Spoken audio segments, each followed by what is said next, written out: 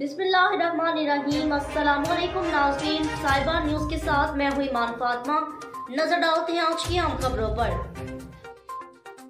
खबर शामिल करते हैं अलरियाज सऊदी अरब से, जहाँ मुस्लिम लीग नून अलरियाज की senior executive member Zakir Ahmed Khan ने Pakistan Muslim league Noon Saudi Arabia के सीनियर नायब सदर राना खालिद अकरम के एजाज में एक शानदार इशाए का अहतमाम किया,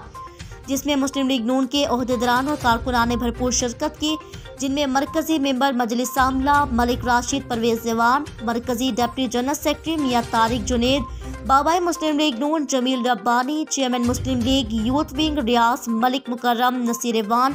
Noor Khan Shinwari executive member committee senior नायब सदर जाहिद लतीफ़ सिंधु, चौधरी खादिम हुसैन सीनियर नायब सदर Rana staff member executive committee Riaz Sardar शेब, नायब सदर रियाज रीजन मौलवी अब्दुल गफूर, सीनियर रहनुमा मुस्लिम लीग नून मौलवी मुनीर अहमद, सीनियर रहनुमा Muslim league Noon Chaudhry Abdul Hafeez Gujjar, Raja Yaqub chairman youth wing और दीगर ने कारकुनान में शिरकत की। मजीद खबरें और अपडेट्स जानने के लिए विज़िट करें और सब्सक्राइब करें साइबा न्यूज़ एच